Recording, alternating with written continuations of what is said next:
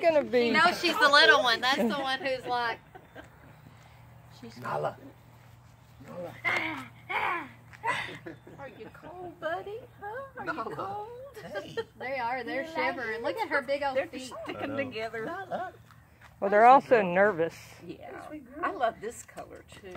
That's apricot. Come here. Come here. What is your name? That one's Titus. He's going to Maryland. Oh, Maryland. That's where it is. Yes. You're going up north.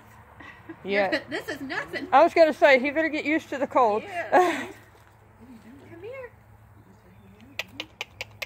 I always loved big dogs.